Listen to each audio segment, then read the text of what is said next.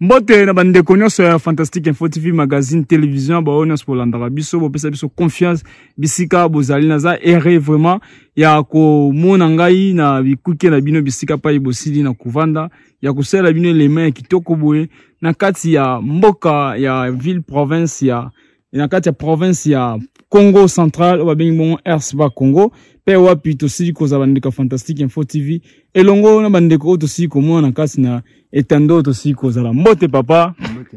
Eh, kombo nani papa meka mpe kosplike bandeko bazo kolanda yo papa na biso eh, je crois eza ça fait déjà ça fait mbai vraiment namona yo namona bino namona bino lisusu na mokolo lelo kombo nani bandeko bazolanda yo ya sika na kati ya fantastique info tv et puis explike bango bisika wapi tosili na kovanda na kati na esika oyo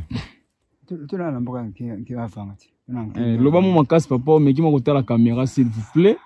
eh. toyo nkimafanga oyo tozali zamba bilanga oyo tokozaki banyoko yango omoni hmm. baboli na mabele bakoni sikoyo ya totala na kati ya po epesa ya makala vraiment ya mbote tokende toyoki bandeko papa si koloba ete nkombo na ye ndombasi e papa ndombasi bamerci bamboti ya trop kipe fantastique info tv epesi bino e awa tozali bongo na kimbi ya vanga e précisement na congo central e papa ndombasi okobeta mwa lisolo na oyo etali concernant ya litomoni libulu etimwami awa po epo eza bato ba 5 mètre et carré sur 6 mètres carré et puis tout le monde est sous sous et bah quelques bois bah bah bah nous étions si na na na kotanda mana kasi tout autour ya ya ya libulu na biso okomeka mpe koexplike biso e ya quoi sert na babelemo nyonso tomoni liboso na biso oyo elingi koloba nini na libulu oyo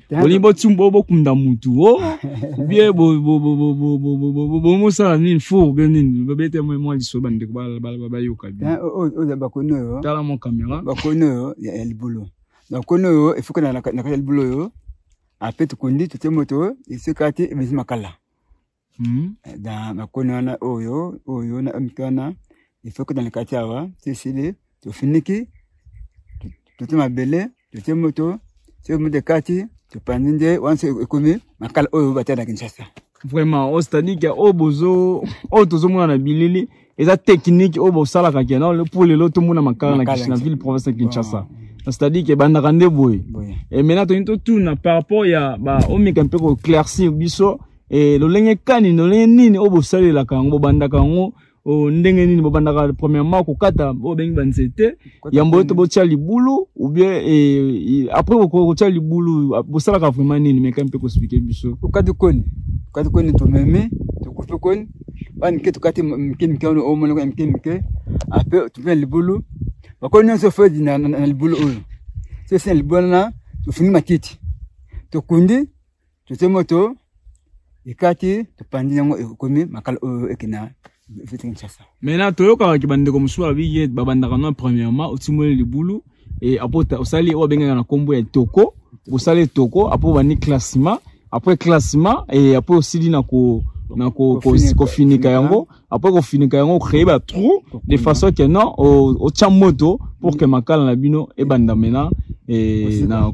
na, na, na fonctionnement nango mena d'après bino eh, bino obandaka ndenge nini kaka brutalement kaka botie moko ndibisangisa sangisa otie koni boye otie kuba groupe te hmm? koni ya groupe ya groupe ya mike ya minene oyo mike mike ekatama koyo fasi koyo oyo mike wana kotanda etoko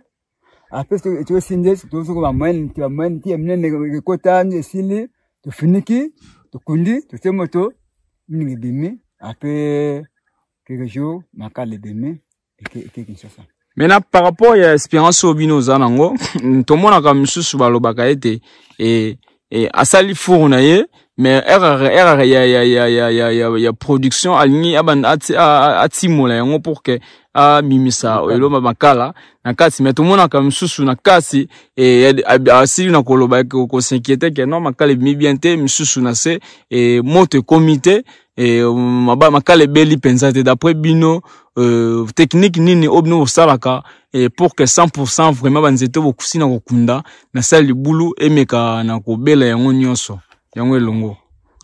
eselela eselela na ye na se moto nayebeli na koselela bere soki noye likolo mpe na se etika nango te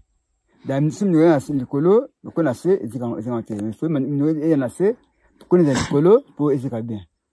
toyebi te moto moto na ndenge na ndenge mais na d'après bino tozomeka mpe koyiba mo mayele na bino moke e, omeka mpe kotalisa biso na se etoko esengaka nini banzete ya moyenne to banzete ya trop petit obie ya, ya minene wana na se euh, comme etoko esengaka banzete ya tei nini ya mikie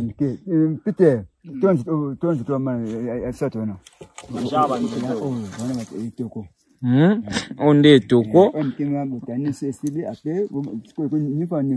nakomi papa niveau ya niveau mm. mais na par rapport ya bino na expérience oyo boza nango tomoni osili oh, kotumola mwa libula ya mwa monene e, nayebi te na quantité ya, ya, ya, ya biloko tomoni yango eza mwa ebele oyo nyonso ozokota na meme libulu ou bien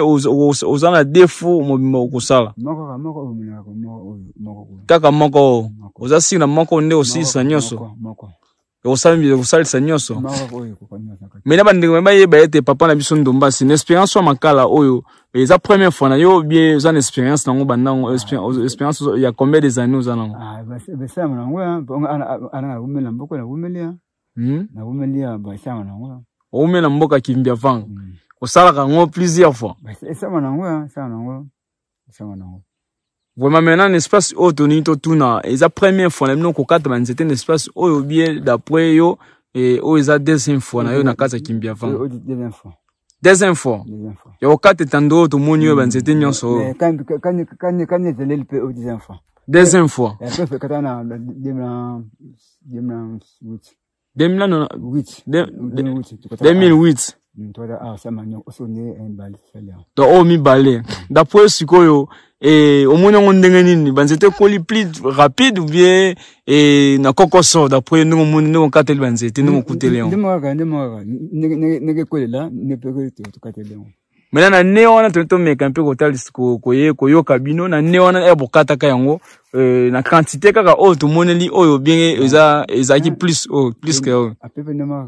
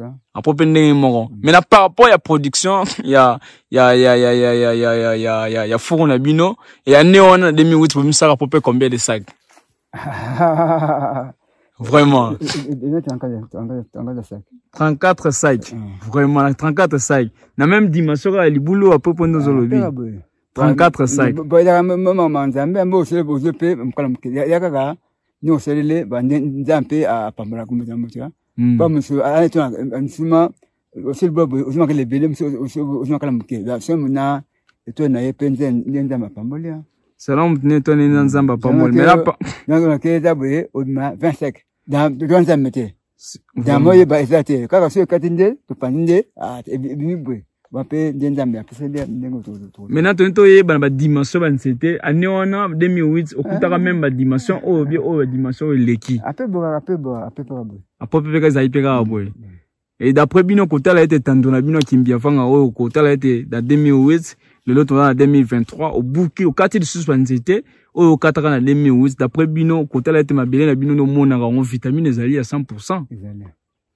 par rapport ya misusu tomonaka ete akati nzete me mpona kozonga lisusu na ndenge yo olobi na baneo ndenge oyo opeseli biso eza vraiment mpasi mais par rapport ya bino abongo ah, ah soki okati bilanga okati lango olie eseli nde te Hmm? 12 ans, 13 ans, bah, filmer les gens, les gens ont belé, chose, nous qu'on fait, et répondre très bien pour filmer les allées. Hmm? Hmm. maintenant par rapport ya, ya, ya, ya mbote tokuma na suka ya émission na biso ya mokua lelo toni toyeba sikoyo awa ah, tozali bongo na village ya kimbiavanga processement na congo central moyen nini oyo omemaka biloko na yo pour ke eko arrive na ville ya province ya kinshasa moyen de déplacement ezalaka ndenge nini na velo nde tozomona bandeko mosusu na nzela motuka tozotambola na nzela tozoyela bazopusa na nzela na velo e d'après bino omekaka na moto na velo moyen nini ya transport oyo bosalelaka très souvent na kati ya kimbi avanga pour ke bokoarrive na kinshasa simakala eza kamwa ebele land rover baland rover ekotaka mpe sikoto bon susu batuka saki kati saki e, e, e, eke na moto eke mhm. na moto batiki lo bayi lo maintenant na landrover na distance oyo ndenge oyebeli et coût de transport ezalaka combien coût de transport 15 000 70 000 15 000 na saki moko 15 000 par sac mm. maintenant par rapport ya vente soki obi ke non oza na makuti ya kobimisa yango kuna te osala vente sikoto oyo bato mpe bamonanaka bana bango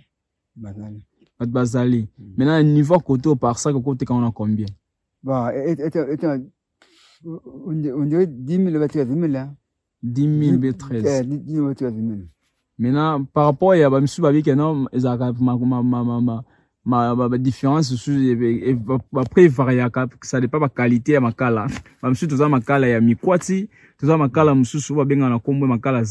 ya zamba mm. toni totuna d'après bino bapro eza ndenge nini par rapport ya bino ya bino ezali mikwati to ezali makala ya zamba oh, oh, ya zamba mm. mais na prix nini eza likolo par rapport ya zamba na ya mikwati po makala oyo mikwati wana ya makasi yaka likolo oyo azamelaka na mase po eyaka mpe epe oyo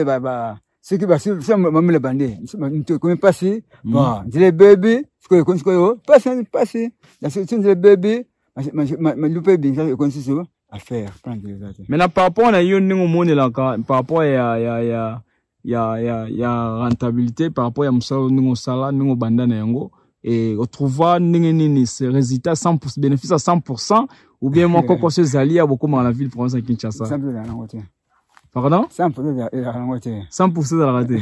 bolelaka toujours abongo ah ezala yango te 100% ezalaka te oh, mpo na nini beta mwa lisolo ah, traverse elekaka makasi abongo motuka ah, bato otie biloko fefe na chandi fefe ta meya ba nisa mpe ezala susu nisa mpe lo mike mike mike ofutaka mamwa mike mike mike bon oke mpe sote otie mpe moke ozwi rien donc kama soki bambula ebandi ota kama pimo ya mwa bien badépense ya transport mike mike ba soki okende te nde mikolo nde ekoki nango makala ekomi nzoka ebele ba otika mwa moke mais na kinshasa tozokaka makala ma mikolo ezo ba séjour ko eza ya komata makasi ba 45 000 ba 40 000 nayebi te banga mpe makala mpe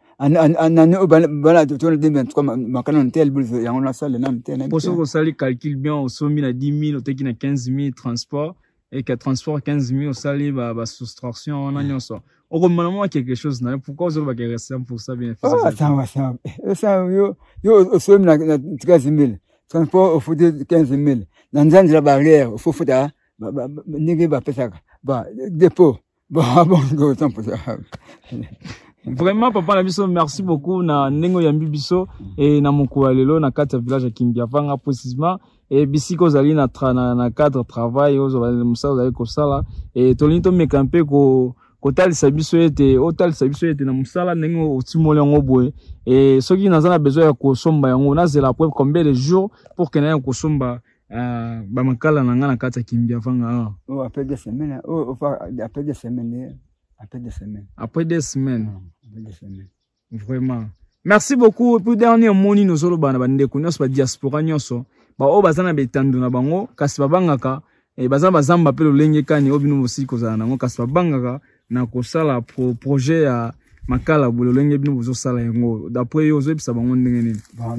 eza mbongo hein. fo osalaka ezalaka mbongo hein. hmm? fo osalaka ezalaka mbongo hein.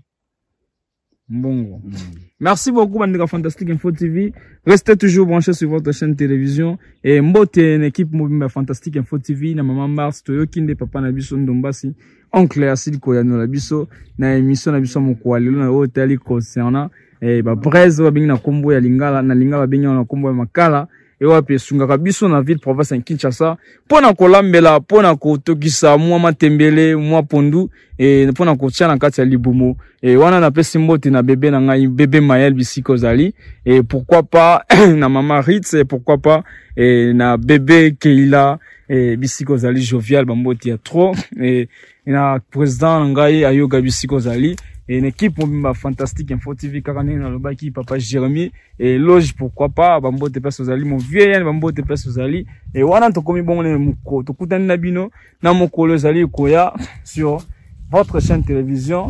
télévision magazine kiabeto tokutani bongo na mikolo ezali koya